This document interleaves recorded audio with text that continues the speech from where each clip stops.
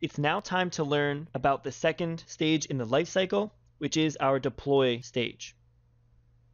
But before we can deploy our process, we need to learn about something called environments. Now, an environment is created and managed within the Atom Management tabs. Now, environments are the containers which contain the Atom and the deployed processes together. Essentially, the way that you can think of this is that once we create an environment, we need to attach an Atom to that environment, and then we attach that environment to one of our processes. Only then can our process be deployed. And it's good to keep in mind that a specific Atom can only attach to a single environment at a time. However, a single environment can hold multiple atoms at a time. Although we are going to discuss environments on a high level, the true power of environments occurs through the use of extensions, which are discussed in the integration developer courses.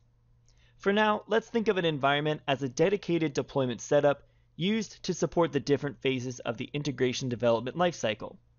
Within environments, we'll attach a specific atom to control the process runtime. As we can see, the atom cloud and the test atom cloud that we created earlier are not yet attached to any environments, so they're listed in the unattached atoms list. So once you actually set up your environment, we need to attach that atom to the environment. We can do this through the Manage and Atom Management tabs. An atom is attached to an environment via the environment pane.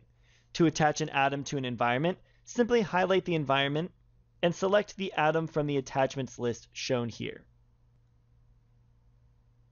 Once you complete that, the atom will then be attached to the environment. So let's review how to attach a process to that same environment. A process can attach to one or more environments via the Deploy tab. You can do this by highlighting the process within the process pane.